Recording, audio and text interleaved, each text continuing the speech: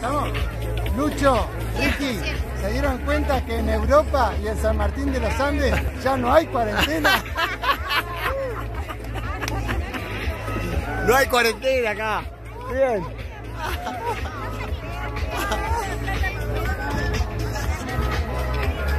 Ya están hablando de dientes ustedes, ¿no?